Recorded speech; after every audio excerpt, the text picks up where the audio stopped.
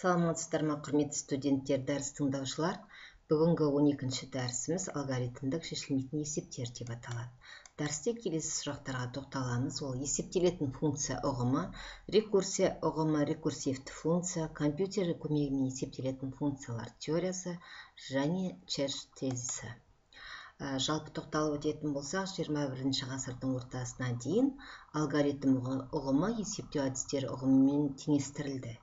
Есептеу әдістерінде қолданылатын арифметикалық анализдік тригонометриялық операциялардың орындалу алгоритмі іспеттес болып жүрді. Осындай проблемаларды шешу үшін әдейі қосымша арнаулы дәлелдеулердің қажеті болмады.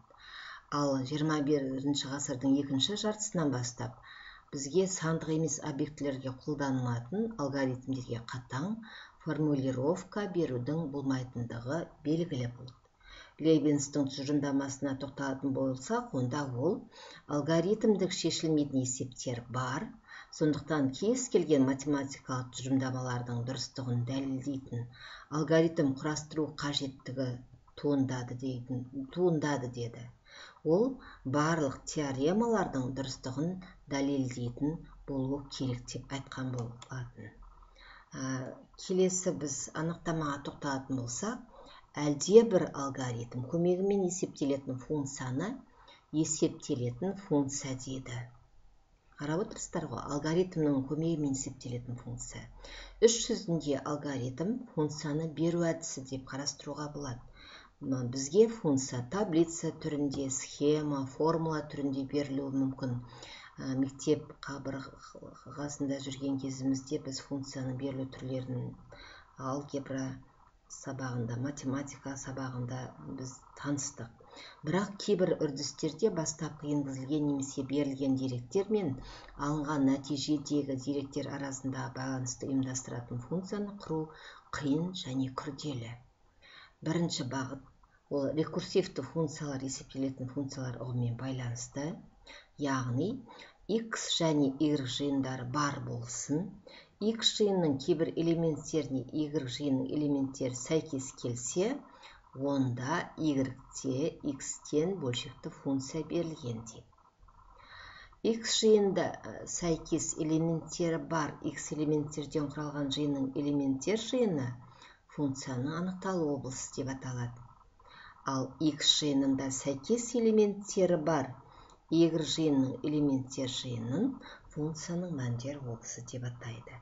Біз ә, функцияны толық зерттеуге арналған есептерді шығарған кезде анықталу облысы мәндер облысын өткен болатынбыз. Егер x-тен y функцияның анықталу облысы x жиынымен беттессе онда ол функцияны барынша анықталған деп атайды. Осы ұғымға және рекурсив функцияға негізделіп алгоритмнің дәл анықтамасын құруға болады. Кез келген берілген деректі үзілісті кейбір оқулықта дискретті деп те айтамыз иә? Әлде бір санау жүйесінде натурал сандармен кодтауға болады. Онда олардың барлық алмастыру есептеудің операцияларының тізбегінде келтіріледі ал өңдеу нәтижесі солайша бүтін сан болып қала береді. Кез келген алгоритм берілген сандық функция үшін бірдей оның мәнін есептейді ал оның элементарлық қадамдары қарапайым арифметикалық логикалық операциялар болады. Мұндай функциялар есептелетін функциялар деп аталады.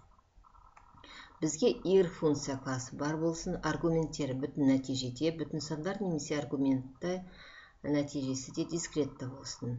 Яғни y функциясы тиімді есептелетін функция деп аталады. Егер белгілі бір аргументтер мәні бойынша оның мәнін есептейтін алгоритм бар болса. Әртүрлі түсінілетін процестер үшін есептелетін функциялар тізімі кәдімгі математикалық терминмен жеңіл сипатталатын функциялар болса рекурсивті деп аталады. Кез келген алгоритмдік модель рекурсивті функция алгоритмнің элементарлы қадамын анықтау керек. Деректерді өңдеуге қажетті алмастыру тізбектерін қанағаттандыру керек. Рекурсивті модельде мұндай элементарлы қадамдар қарапайым сандық функциялар деп аталады. Міне беріліп тұр сіздерге s o және i. Бұл сандар комбинациясының күрделі функциялар құрылады. Бірінші s xіміз тең x плюс 1 яғни бір аргументті бір орынды функция болсын. O o n орынды нөлге тең теңдік функциясы. I n орында өз аргументтерін бір мәнді тепе теңдікті қайталану функциясы болсын. Бұл функциялар барынша анықталған интуитивті есептелетін функциялар бұл функцияларға қолданатын қасиеттері бірдей барлық операциялар а операторлары қолданылады. Яғни функцияларға осындай операторларды қолдану арқылы алынған бөлшек функцияларды бөлшекті рекурсивті функциялар деп атайды.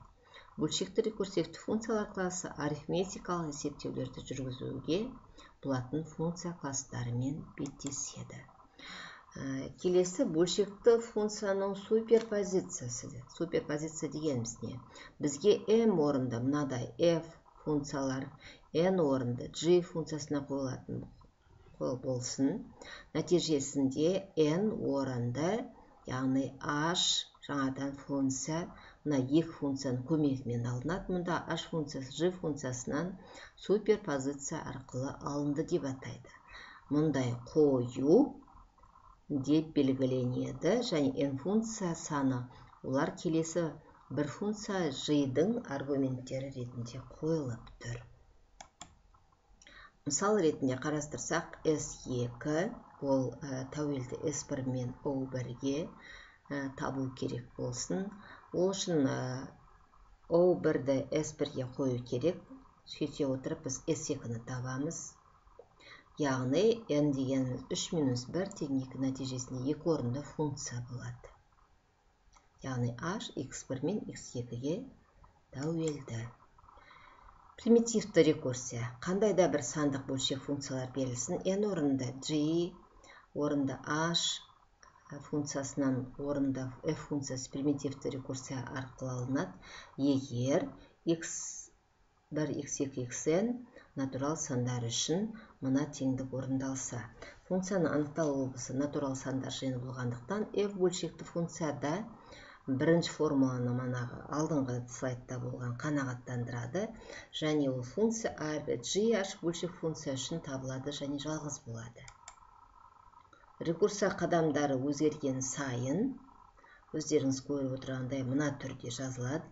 Примитивті рекурсия f тең r h g және h деп белгіленген r бөлшек функциялар жиынында анықталған екі орынды бөлшек операция символы деп қарастырылады.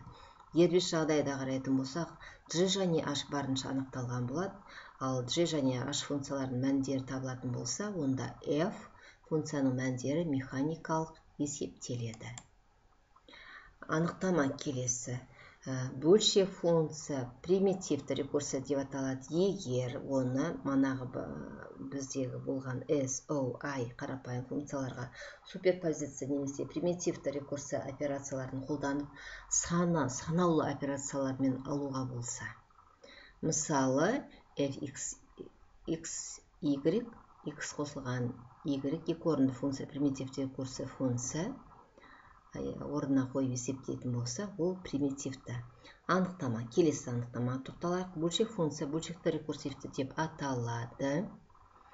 Оны SOI функциялармен суперпозиция примитивті рекурсия механизация операцияларын санаулы рет қолданып алуға болатын болса. Келесі сұрағымыз ол черш тезисі алгоритмдік есептелетін бөлшекті сандық функциялар классы барлық бөлшекті рекурсивті функциялар классымен беттеседі. Бөлшекті рекурсивті функция ұғымы есептелетін бөлшекті функция интуитивті ұғымының ғылыми эквиваленті бола алады. Рекурсивті функция ұғымы қатаң сондықтан да кәдімгі математикалық техника есепті шешетін функция рекурсивті болуы мүмкін емес деп дәлелдейді. Интуитивті есептелетін функция ұғымы қатаң емес математикалық ұғым бірақ ол бөлшекті рекурсивті функция қатаң математикалық ұғыммен байланысады.